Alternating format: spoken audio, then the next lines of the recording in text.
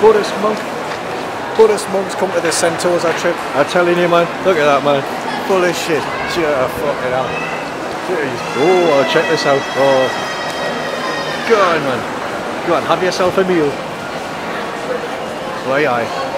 Aye. Buddhist monks. Obviously, where you want to be, if you want to benefit all sentient beings, you want to get yourself out of Sentosa Island, you're not for a nosh up. Grrr. I'm sure his intentions are pure, but because I don't know, I'm going to adopt my cynical approach, which is 99 out of 100 of them I believe are full of shite. Oh, you see the anger there? Ooh, ooh. No.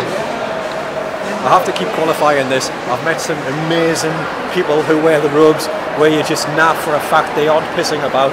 And I think it's just meeting people like that that's made me realise all the ones waltzing around in the robes just because they've got the robes on, I cannot stress enough, uh, it's in my mind they ain't Buddhist monks.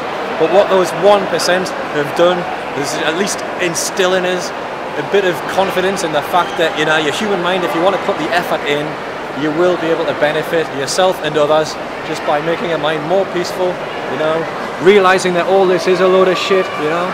The most optimistic thing I could say about that Buddhist monk who's just went in for his nosh there, waltzing around on his own, is that he's He's just trying to diminish his attachment to the world by wandering around it and going, look, isn't it, isn't it a load of shite? But no,